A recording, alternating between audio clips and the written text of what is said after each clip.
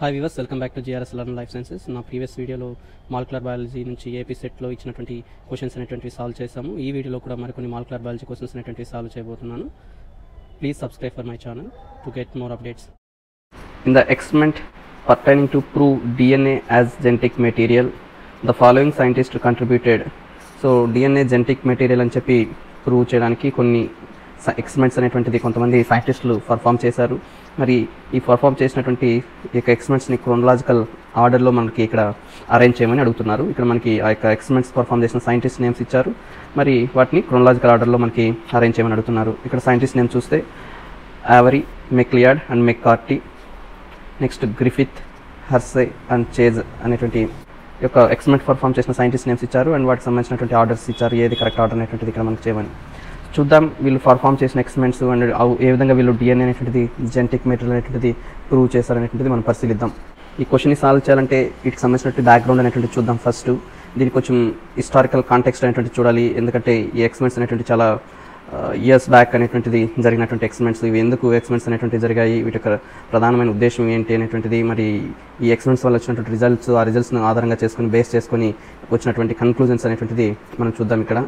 మనము ఒక జెనెటిక్స్లో కానీ చూసినట్టయితే గ్రెగర్ మెండల్ మనకి చాలా బాగా తెలుసు. ఈ గ్రెగర్ మెండల్ ఎయిటీన్ సిక్స్టీ ఫైవ్లో మనకి ఒక ఇన్హెరిటెన్స్ అనేటువంటిది ప్రిన్సిపల్ అనేటువంటి దాన్ని మనకి ఇంట్రడ్యూస్ చేశారు. అంటే క్యారెక్టర్స్ ట్రైట్స్ అనేటువంటివి ఒక జనరేషన్ నుంచి ఇంకొక జనరేషన్కి పాస్ అవుతాయని చెప్పి చెప్పారు. అంటే ఎఫ్ వన్ జనరేషన్ నుంచి ఎఫ్ టూ జనరేషన్కి ఎఫ్ టూ జనరేషన్ నుంచి ఎఫ్ త్రీ జనరేషన్కి ట్రైట్స్ లేదా క్యారెక్టర్స్ పాస్ అవడం గురించి ఇతను మనకు ఎక్స్ప్లెయిన్ చేశాడు. అండ్ ఈ విధంగా క్యారెక్టర్స్ని పాస్ చేసేటువంటి వాటిని మెండల్ ఫ్యాక్టర్స్ అని చెప్పి చెప్పారు. అయితే బిఫోర్ ఎయిటీన్ సిక్స్టీ ఫైవ్ ఏ విధంగా ఈ యొక్క క్యారెక్టర్స్ పాస్ అవుతాయి ఒక జనరేషన్ నుంచి ఇంకొక జనరేషన్కి అనేటువంటి చూస్తే ఇక అర్లీ నైన్టీన్త్ సెంచరీలో వేరే కాన్సెప్ట్ అనేటువంటిది ఉండేది దాన్నే బ్లెండింగ్ ఇన్హెరిటెన్స్ అంటారు. ఈ బ్లెండింగ్ ఇన్హెరిటెన్స్ అనేటువంటిది ఏం చెప్తుందంటే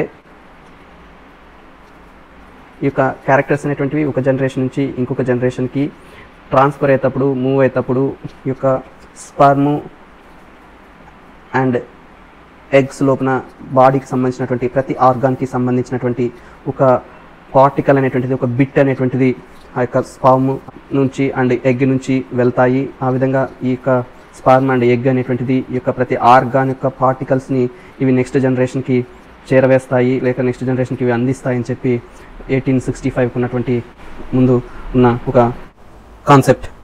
ఈ విధంగా చూస్తే దీన్ని బ్లెండింగ్ ఇన్హెరిటెన్స్ అని చెప్పేవాళ్ళు. అంటే అన్ని బాడీ ఆర్గాన్కి సంబంధించినటువంటి పార్టికల్స్ అన్ని కూడా స్పామ్లోకి అలాగే అలాగే మదర్కి సంబంధించినటువంటి ఎగ్లోకి మదర్ ఆర్గాన్కి సంబంధించిన అన్ని పార్టికల్స్ అనేటువంటివి చేరుతాయి. అలా చేరిన తర్వాత ఇక స్పాము అండ్ ఎగ్ అనేటువంటివి వచ్చినటువంటి పార్టికల్స్ మొత్తం ఉపయోగించుకొని ఒక కొత్త జీవిని లక్షణాలు అనేటువంటి దాన్ని ఏర్పరుస్తాయని చెప్పి అప్పట్లో అనుకునేవాళ్ళు. ఈ విధంగా ఇక లక్షణాలు అనేటువంటివి మదర్ నుంచి వచ్చినవి ఫాదర్ నుంచి వచ్చినటువంటి లక్షణాలు అనేటువంటి బిట్ పార్టికల్స్ రూపంలో బిట్స్ రూపంలో వచ్చినటువంటి లక్షణాలు అనేటువంటివన్నీ కూడా కలిసిపోతాయని గట్టిగా నమ్మేవారు. అందువలన దీనికి బ్లెండింగ్ ఇన్హెరిటెన్స్ అని పేరు వచ్చింది. అయితే ఎయిటీన్ సిక్స్టీ ఫైవ్లో మెండల్ అనేటువంటి శాస్త్రవేత్త ఏం చెప్పారంటే ఇవి ఫ్యాక్టర్స్ అనేటువంటివి ఉంటాయి జీవుల్లో. ఈ ఫ్యాక్టర్స్ ద్వారా ఇక క్యారెక్టర్స్ అనేటువంటివి ట్రాన్స్ఫర్ అవుతాయి ఒక జనరేషన్ నుంచి ఇంకొక జనరేషన్కి అని చెప్పి మనకు మెండల్ చెప్పారు.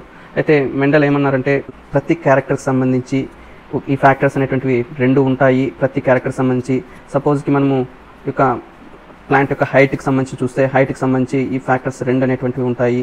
ఈ రెండు ఫ్యాక్టర్స్ గ్యామెట్స్ ఫామ్ అయ్యేటప్పుడు సెగ్రిగేట్ అయిపోతాయి అని చెప్పి ఇతను చెప్పారు. ఈ యొక్క ఫ్యాక్టర్స్ని మనం ఈరోజు డిప్లాయిడ్ కండిషన్ అని చెప్తున్నాం. అంటే ఇక్కడ రెండు ఫ్యాక్టర్స్ ఉంటాయని అంటున్నారు. మనం ఈరోజు దీన్ని డిప్లాయిడ్ సెల్స్ అని చెప్పి మనం పిలుస్తున్నాం. ఈ యొక్క ఫ్యాక్టర్స్ అనేటువంటివి గ్యామెట్ ఫామ్ అయ్యేటప్పుడు సెగ్రిగేట్ అయిపోయి ప్రతి ఒక్క గ్యామెట్లకి కూడా ఒక ఫ్యాక్టర్ అనేటువంటిది చేరడం జరుగుతుంటుంది. ఈ విధంగా మనకి మెండల్ ఎక్స్పెరిమెంట్స్ ద్వారా ఇక ఫ్యాక్టర్స్ అనేటువంటివి తెలిసాయి. కానీ Mendel he didn't use the word gene gene అనేటువంటి పదం ఇతన్ని యూజ్ చేయలేదు. మనకు తెలుసు డిఎన్ఏలో జీన్స్ అనేటువంటి ఉంటాయి. ఈ డిఎన్ఏలో ఉన్నటువంటి ఇక జీన్స్ అనేటువంటి ద్వారా క్యారెక్టర్స్ అనేటువంటివి ఇన్హెరిటెన్స్ అనేటువంటిది అవుతున్నాయి అనువంశికం అనేటువంటిది చెందుతున్నాయని. కానీ మెండల్కి యొక్క జీన్ గురించి క్రోమోజోమ్ గురించి డిఎన్ఏ స్ట్రక్చర్ గురించి ఏమీ తెలియదు. ఎందుకంటే మనకి డిఎన్ఏ యొక్క స్ట్రక్చర్ తెలిసినటువంటిది నైన్టీన్ ఫార్టీ లో నైన్టీన్ ఫార్టీలో డిఎన్ఏ స్ట్రక్చర్ అనేటువంటిది ఐడెంటిఫై చేస్తే ఎయిటీన్ సిక్స్టీ ఫైవ్లోనే మనకు మెండల్ యొక్క ఫ్యాక్టర్స్ అనేటువంటి దాని కాన్సెప్ట్ని మనకు అందజేశారు. మరి ఎందుకు మెండల్ వర్క్ అనేటువంటిది ఎక్కువ మంది దీన్ని ఇగ్నోర్ చేస్తారు చూస్తే ఇతను ఎయిటీన్ సిక్స్టీ ఫైవ్లో ఈ యొక్క రిజల్ట్స్ అనేటువంటిది ఎక్స్మెంట్స్ అనేటువంటి రిజల్ట్స్ అనేటువంటి వర్క్ని పబ్లిష్ చేసినట్టయితే ఇవి నైన్టీన్ హండ్రెడ్ వరకు కూడా అంటే పంతొమ్మిది సంవత్సరం వరకు కూడా ఇవి ఇగ్నోర్ చేశారు. ఆల్మోస్ట్ ఒక థర్టీ ఫైవ్ ఇయర్స్ యొక్క రిజల్ట్స్ మొత్తం కంప్లీట్గా ఇగ్నోర్ చేయడం జరిగింది. ఎందుకంటే దీన్ని ప్రూవ్ చేయడానికి ఎలాంటి ఒక ఫిజికల్ బేసిస్ అనేటువంటిది లేదు. ఒక భౌతిక ఆధారం లేకపోవడం వలన ఫిజికల్ బేసిస్ లేకపోవడం వలన ఈ యొక్క వర్క్ని అప్రిషియేట్ చేయలేకపోయారు ఈ పీరియడ్లో అయితే తర్వాత ఫైనల్గా ఇక వర్క్ అనేటువంటిది అప్రిషియేట్ చేశారు.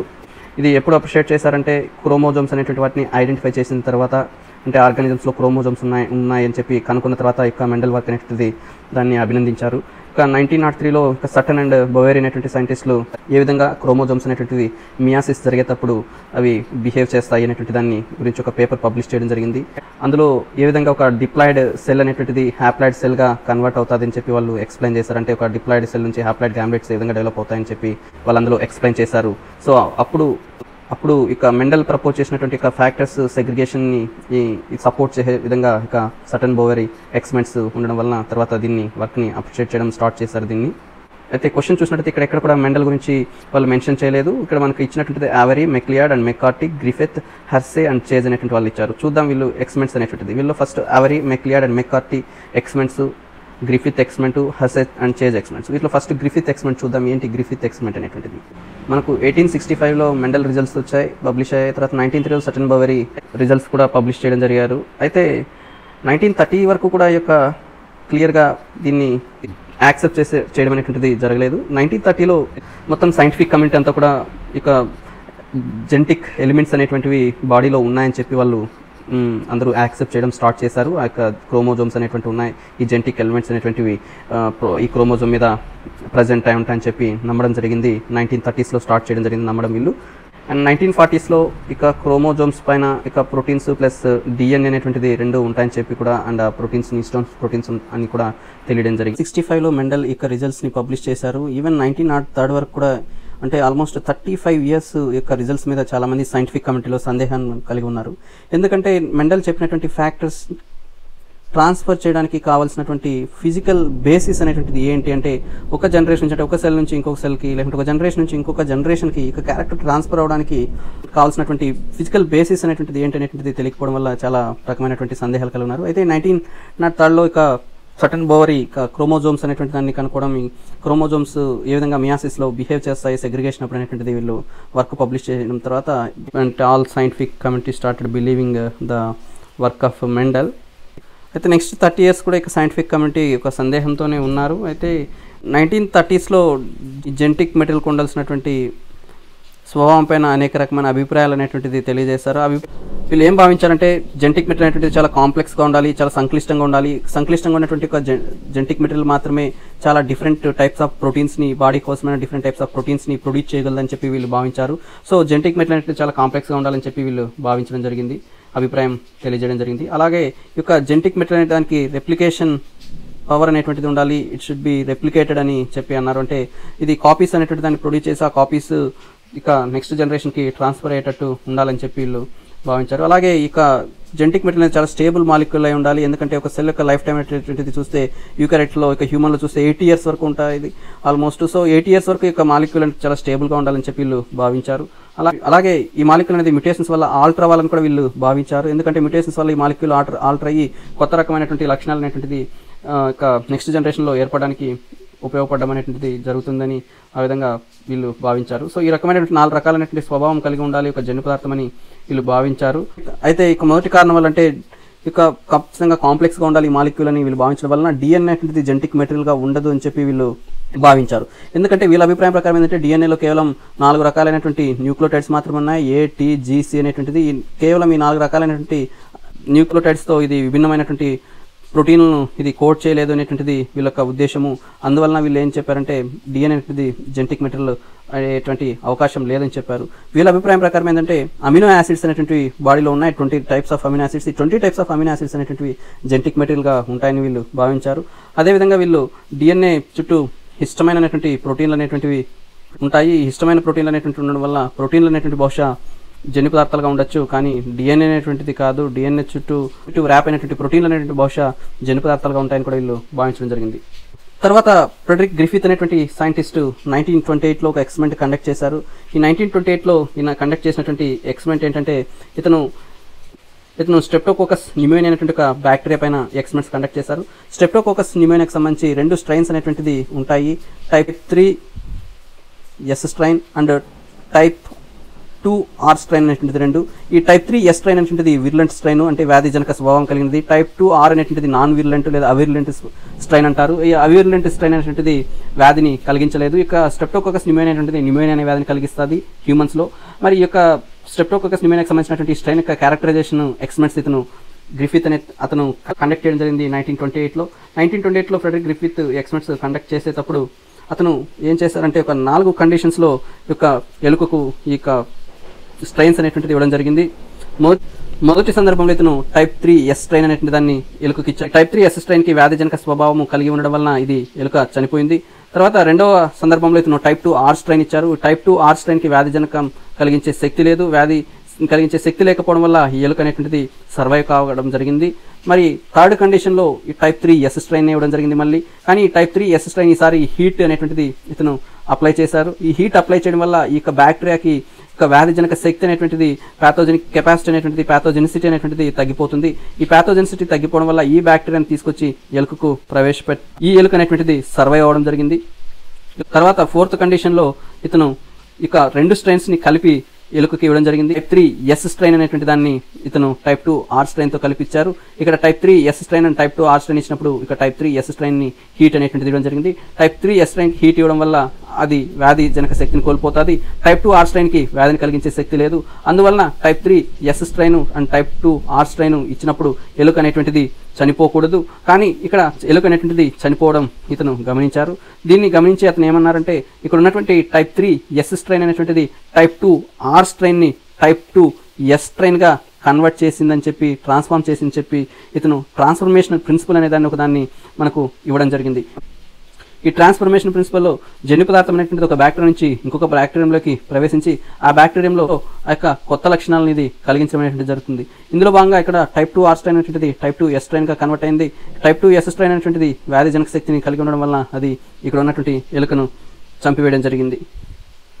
అయితే ఈ రెండు స్ట్రైన్ల యొక్క క్యారెక్టరిస్టిక్స్ కానీ పరిశీలిస్తే ఈ రెండు స్ట్రైన్లు ఎప్పుడైతే మనం పెట్రిడిష్లో వీటిని గ్రో చేస్తామో పెట్రిడిష్లో గ్రో చేసినప్పుడు ఈ యొక్క టైప్ త్రీ ఎస్ స్ట్రెయిన్ చుట్టూ ఒక వైట్ కలర్ లంప్ అనేటువంటిది ఫామ్ అవుతుంది. ఈ యొక్క వైట్ కలర్ లంప్ అనేటువంటిది ఇక్కడ పాలిసాక్రైడ్ జెల్ అనేటువంటిది ఈ పాలిసాక్రైడ్ జెల్ అనేటువంటిది టైప్ త్రీ ఎస్ట్రైన్స్ అనేటువంటి మాత్రమే రిలీజ్ చేయగలుగుతాయి. ఈ టైప్ త్రీ ఎస్ట్రైన్స్ అనేటువంటివి పాలిసాక్రైడ్ కోట్ అనేటువంటిది కలిగి ఉండడం వల్ల ఈ పాలిసాక్రైడ్ కోట్ వలన ఇవి ఇమ్యూన్ సిస్టమ్ చేత రికగ్నైజ్ కాలేవు. ఇమ్యూన్ సిస్టమ్ చేత రికగ్నైజ్ కాలేకపోవడం వల్ల ఇవి హోస్ట్లో ఎక్కువ కాలం ఉండి వ్యాధిని కలిగించగలుగుతున్నాయి. అదే టైప్ టూ ఆర్ స్ట్రైన్స్ అనేటువంటివి ఈ కోట్ని ఏర్పరచలేవు. ఈ జెల్ అనేటువంటి దాన్ని ఏర్పరచలేవు. ఈ పాలిసాక్రైడ్ జెల్ ఏర్పడకపోవడం వల్ల అవి త్వరగా ఇమ్యూన్ సిస్టమ్ చేత ఈజీగా గుర్తించబడి ఇవి హోస్ట్ నుంచి ఎలిమినేట్ కాబడతాయి. సో ఆ విధంగా అవి వ్యాధిని కలిగించలేవు. అయితే సైంటిఫిక్ కమ్యూనిటీలో ఏం భావించారంటే ఈ టైప్ త్రీ ఎస్ స్ట్రైన్ చుట్టూ ఉన్నటువంటి పాలిసాక్రైడ్ అనేటువంటిది టైప్ టూ ఆర్ స్ట్రైన్లోనికి ప్రవేశించి ఆ టైప్ టూ ఆర్ స్ట్రైన్లో ఇది మార్పులు చేయగలిగింది. టైప్ టూ ఆర్ స్ట్రైన్ని టైప్ టూ ఎస్ స్ట్రైన్గా మార్చగలిగిందని చెప్పి భావించి ఇక్కడ పాలిసాక్రైడ్ అనేటువంటిది జన్యు పదార్థంగా లేదా జెంటిక్ మెటీరియల్గా పనిచేస్తుండొచ్చని భావించారు. అయితే సైంటిఫిక్ కమ్యూనిటీలో ఉన్నటువంటి ఈ యొక్క సందేహాన్ని క్లారిఫై చేయడం కోసం మనకి యావరీ మెక్లియాడ్ మెక్కార్ట్ అనే సైంటిస్టులు ముగ్గురు ఒక ఎక్స్మెన్ని ని కండక్ట్ చేశారు. ఇందులో ఏం చేశారంటే ఒక టెస్ట్ ట్యూబ్ తీసుకున్నారు. ఈ టెస్ట్ ట్యూబ్లో ఇక బ్యాక్టీరియాస్ అనేటువంటి వాటిని ఉంచడం జరిగింది. ఇక్కడ రెండు టైప్ త్రీ మరి టైప్ టూ రెండు బ్యాక్టీరియాస్ని వాళ్ళు తీసుకున్నారు. ఒక టైప్ టూ బ్యాక్టీరియాని తీసుకున్నారు. అలాగే టైప్ టూ బ్యాక్టీరియాని కూడా తీసుకున్నారు. టైప్ త్రీ బ్యాక్టీరియా నుంచి టైప్ టూ బ్యాక్టీరియాకి ఏదో పదార్థం వెళ్తోంది. ఆ పదార్థం ద్వారా ఈ యొక్క టైప్ త్రీ బ్యాక్టీరియా అనేటువంటిది టైప్ టైప్ టూ ఆర్ బ్యాక్టీరియాని టైప్ టూ ఎస్ బ్యాక్టీరియాగా మారుస్తున్నట్టు వీళ్ళు గమనించారు.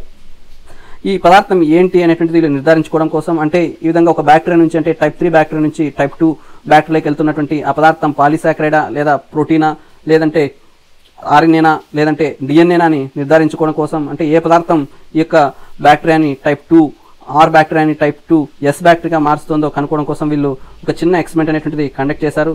ఈ ఎక్స్మెంట్లో వీళ్ళు నాలుగు రకాలైనటువంటి ఎంజైమ్స్ యాడ్ యాడ్ చేశారు ఈ యొక్క నాలుగు రకాల టెస్ట్ ట్యూబ్లకి ఒక ఒక టెస్ట్ ట్యూబ్లో వీళ్ళు ప్రోటీనేజ్ని యాడ్ చేశారు ఒక టెస్ట్ ట్యూబ్లో ఆర్ఎన్ఏజ్ను ను ఒక టెస్ట్ ట్యూబ్లో డిఎన్ఏజ్ను ఇంకొక టెస్ట్ ట్యూబ్లో కార్బోహైడ్రేట్లను డైజెస్ట్ చేసేటువంటి ఎంజైమ్స్ను హైడ్రలైజెస్ని యాడ్ చేయడం జరిగింది. అయితే ఎప్పుడైతే ఎప్పుడైతే ప్రోటీనేజ్ని యాడ్ చేస్తారో ప్రోటీనేజ్ని యాడ్ చేసినప్పుడు ఒకవేళ ఒక బ్యాక్టీరియా నుంచి ఇంకొక బ్యాక్టీరియాలోకి ప్రోటీన్ అనేటువంటిది ప్రవేశించడం ద్వారా టైప్ త్రీ ఎస్ బ్యాక్టీరియా అనేది టైప్ టూ ఆర్ బ్యాక్టీరియాని టైప్ టూ ఎస్ బ్యాక్టీరియాగా ట్రాన్స్ఫార్మ్ చేయగలుగుతుంటే అంటే ఈ యొక్క ప్రోటీన్ అనేటువంటిది జన్యు పదార్థంగా కానీ పనిచేస్తున్నట్టయితే ఎప్పుడైతే ప్రోటీనేజ్ని యాడ్ చేస్తారో ఆ ప్రోటీనేజ్ అనేటువంటిది ఈ యొక్క ప్రోటీన్ యొక్క ట్రాన్స్ఫర్మేషన్ అనేటువంటి దాన్ని ఆపివేస్తుంది. ప్రోటీన్ యొక్క ట్రాన్స్ఫర్మేషన్ ఆగిపోయినప్పుడు ఇక్కడ టైప్ టూ ఆర్ బ్యాక్టీరియా అనేటువంటిది టైప్ టూ ఆర్ బ్యాక్టీరియాగానే ఉండిపోతుంది తప్ప టైప్ టూ ఎస్ బ్యాక్టీరియాగా మార్పు చెందదు. ఈ బ్యాక్టీరియల్ కల్చర్ని ఎలుకలో కానీ ప్రవేశపెట్టినట్టయితే ఆ ఎలుక అనేటువంటిది జీవిస్తుంది. అయితే ఎప్పుడైతే వీళ్ళు ప్రోటీనేజ్ అనే దాన్ని యాడ్ చేశారో ప్రోటీనేజ్ని యాడ్ చేసిన తర్వాత ఈ యొక్క బ్యాక్టీరియల్ కల్చర్ని తీసుకెళ్ళి ఎలుకలకి ప్రవేశించి పెట్టినప్పుడు ఎలుక అనేటువంటిది చనిపోయింది. దాని అర్థం ఏంటంటే ఇక్కడ ప్రోటీన్ అనేటువంటిది జన్యు పదార్థంగా పనిచేయట్లేదు. మరి వేరే పదార్థం అనేటువంటిది జన్యు పదార్థంగా పనిచేస్తుంది. ఆ వేరే పదార్థం అనేటువంటిది ఈ బ్యాక్టీరియాలోకి ప్రవేశించి ఆ వేరే పదార్థం అనేటువంటిది ఇక టైప్ టూ ఆర్ బ్యాక్టీరియాని టైప్ టూ ఎస్ బ్యాక్టీరియాగా మార్చి ఆ విధంగా అది ఎలుకలో న్యూమోనియా వ్యాధిని కలిగించి ఆ యొక్క ఎలుక మరణానికి కారణమవుతుందని చెప్పి వీళ్ళు భావించారు. తర్వాత అలాగే ఆర్ఎన్ఏజ్ అనే దాన్ని యాడ్ చేస్తారు. ఆర్ఎన్ఏజ్ని యాడ్ చేసినప్పుడు కూడా ఇలాంటి ఫలితమే వీళ్ళకి రావడం జరిగింది. దీని ఆధారంగా కూడా వీళ్ళు ఇందులో ఆర్ఎన్ఏ అనేటువంటిది జన్యు పదార్థంగా పనిచేయట్లేదని నిర్ధారించుకున్నారు. అదేవిధంగా కార్బోహైడ్రేట్స్కి సంబంధించినటువంటి హైడ్రలైజెస్ని యాడ్ చేసినప్పుడు కూడా ఇలాంటి ఇలాంటి ఫలితాలే వీళ్ళకు రావడం జరిగింది. ఈ ఫలితాలను కూడా ఆధారంగా చేసుకొని కార్బోహైడ్రేట్స్ అనేటువంటివి జన్యు పదార్థంగా పనిచేయట్లేదని వీళ్ళు నిర్ధారించుకున్నారు. తర్వాత ఫోర్త్ కండిషన్లో డిఎన్ఏజ్ అనే దాన్ని యాడ్ చేశారు. డిఎన్ఏజ్ అనే దాన్ని యాడ్ చేసినప్పుడు ఇక్కడ టైప్ టూ ఆర్ బ్యాక్టీరియా అనేటువంటిది టైప్ టూ ఆర్ బ్యాక్టీరియాగానే ఉండిపోతుంది. టైప్ టూ ఎస్ బ్యాక్టీరియాగా ట్రాన్స్ఫార్మ్ అవ్వట్లేదు. ఈ కల్చర్ తీసుకెళ్ళి ఎలుకలోకి ప్రవేశపెట్టినప్పుడు ఎలుక అనేటువంటి దానికి చాలా హెల్తీగా ఉంటుంది కానీ ఎలుకలో ఎలాంటి వ్యాధి లక్షణాలు కనిపించలేదు. దీని ఆధారంగా చూసినట్టయితే ఇక్కడ ఉన్నటువంటి డిఎన్ఏ అనేటువంటిది టైప్ త్రీ ఎస్ బ్యాక్టీరియా నుంచి టైప్ టూ ఆర్ బ్యాక్టీరియాలోకి వెళ్తున్నటువంటి డిఎన్ఏ ను ఇది నిరోధిస్తుంది. ఆ విధంగా టైప్ టూ ఆర్ బ్యాక్టీరియా అనేటువంటిది టైప్ టూ ఆర్ బ్యాక్టీరియాగానే ఉండిపోతుంది. ఇక్కడ డిఎన్ఏ అనేటువంటిది ప్రవేశించకపోవడం వల్ల type two R bacteria type two R బ్యాక్టీరియాగానే ఉండిపోతుంది కాబట్టి సో డిఎన్ఏ ప్రవేశిస్తేనే టైప్ టూ ఆర్ బ్యాక్టీరియా అనేటువంటిది టైప్ టూ ఎస్ బ్యాక్టీరియాగా మారుతుంది కాబట్టి ఈ ముగ్గురు శాస్త్రవేత్తలు డిఎన్ఏ అనేటువంటిది జెంటిక్ మెటీరియల్ అని చెప్పి వీళ్ళు నిర్ధారించారు. యాక్చువల్లీ యావరీ కూడా పాలిసాకరైడ్ అనేటువంటిది జన్యు పదార్థంగా పనిచేస్తుందని భావించారు. అయితే అతనికి వచ్చినటువంటి రిజల్ట్స్ ద్వారా డిఎన్ఏ అనేటువంటిది జెనెటిక్ మెటీరియల్ అని అతను నిర్ధారించారు. అయితే చాలామంది సైంటిఫిక్ కమిటీలో ఈ యొక్క రిజల్ట్ పైన కూడా సందేహం అనేటువంటిది వ్యక్తం చేశారు. యావరీ యొక్క ఎక్స్పెరిమెంట్స్ మీద సందేహం వ్యక్తం చేయడం ద్వారా హెర్స్ అండ్ చేజ్ అనేటువంటి సైంటిస్టులు ఇక మొత్తం సందేహానికి ఫుల్ స్టాప్ పెట్టడం జరిగింది. ఒక రేడియో లేబుల్ పదార్థాన్ని ఉపయోగించి. ఈ రేడియో లేబుల్ పదార్థంలో ఇక్కడ వీళ్ళు బ్యాక్టీరియా ఫేజ్ అనేటువంటి దాన్ని తీసుకున్నారు. ఈ బ్యాక్టీరియా ఫేజ్లో టీ టూ బ్యాక్టీరియా ఫేజ్ అనేటువంటి తీసుకున్నారు. ఈ టీ టూ బ్యాక్టీరియా ఫేజ్ అనేది యూకోలై బ్యాక్టీరియా ఫేజ్. ఇది యూకోలైలకి ప్రవేశిస్తుంది. యూకోలైలకి ప్రవేశించినప్పుడు ఈ బ్యాక్టీరియాకి సంబంధించినటువంటి కోట్ అనేటువంటిది వెలుపుల వైపే ఉంటుంది. దాని యొక్క జన్యు పదార్థం మాత్రమే లోపలికి వెళ్ళడం జరుగుతుంది. ఈ జన్యు పదార్థం అనేటువంటిది లోపలికి వెళ్ళి హోస్ట్ యొక్క డిఎన్ఏలో కలిసి హోస్ట్ యొక్క డిఎన్ఏతో ఇంటిగ్రేట్ అయ్యి హోస్ట్ యొక్క డిఎన్ఏతో రెప్లికేట్ అయ్యి హోస్ట్ డిఎన్ఏతో రెప్లికేట్ అయిన తర్వాత ట్రాన్స్క్రిప్షన్ ద్వారా ప్రోటీన్ కోట్ని ఏర్పరచుకొని తిరిగి బ్యాక్టీరియం వెలుపలికి లైసోజెనిక్ సైకిల్ ద్వారా రావడం జరుగుతుంది. అయితే ఈ టీ టూ బ్యాక్టీరియోఫేజ్ను వీళ్ళు రెండు డిఫరెంట్ బ్యాక్టీరియల్ కల్చర్లో గ్రో చేశారు. ఒక కల్చర్లో సల్ఫర్ థర్టీ ఫైవ్ ఉన్నటువంటి బ్యాక్టీరియల్ కల్చర్లో గ్రో చేశారు. ఇంకో దాంట్లో ఫాస్ఫరస్ థర్టీ టూ ఉన్నటువంటి దాంట్లో గ్రో చేశారు. ఫాస్ఫరస్ అనేటువంటిది డిఎన్ఏలో ఉన్నటువంటి ఒక కాన్స్టిట్యూంట్ సల్ఫర్ అనేటువంటిది ప్రోటీన్లో ఉన్నటువంటి ఒక కాన్స్టిట్యూంట్ ప్రోటీన్ ఫేజ్ యొక్క స్ట్రక్చర్ కానీ చూస్తే బ్యాక్టీరియా ఫేజ్లో రెండు స్ట్రక్చర్స్ ఉంటాయి. ఒకటి కోటు ఇంకొకటి జెంటిక్ మెటీరియల్. యొక్క కోట్ అనేటువంటిది ప్రోటీన్తో ఫామ్ అయి ఉంటుంది జెంటిక్ మెటీరియల్ అనేటువంటిది డిఎన్ఏతో ఫామ్ అయి ఉంటుంది ఇక్కడ ఉన్నటువంటి కోట్ అనేటువంటిది సల్ఫర్ థర్టీ ఫైవ్ ప్రోటీన్తో ఫామ్ అయి ఉంటుంది. ఎందుకంటే ఇప్పుడు ఈ బ్యాక్టీరియా ఫేజ్ని యొక్క సల్ఫర్ థర్టీ ఫైవ్ ఐసోటేప్ ఉన్నటువంటి మీడియంలో గ్రో చేశారు కాబట్టి. అలాగే ఇక్కడ ఉన్నటువంటి ఇంకొక బ్యాక్టీరియా ఫేజ్లో కానీ చూసినట్టయితే ఈ బ్యాక్టీరియా ఫేజ్లో ఉన్నటువంటి డిఎన్ఏ అనేటువంటిది రేడియో ఐసోటోప్ ఫాస్ఫరస్ థర్టీ టూని కలిగి ఉంటుంది. ఎందుకంటే దీన్ని ఫాస్ఫరస్ థర్టీ టూ ఉన్నటువంటి మీడియంలో గ్రో చేశారు కాబట్టి. ఇక్కడ ఉన్నటువంటి కోట్లో రేడియో ఐసోటోప్ అనేటువంటిది ఇన్కార్పొరేట్ ఉంటుంది. ఇక్కడ ఉన్నటువంటి డిఎన్ఏలో రేడియో ఐసోటోప్ అనేటువంటిది ఇన్కార్పొరేట్ ఉంటుంది.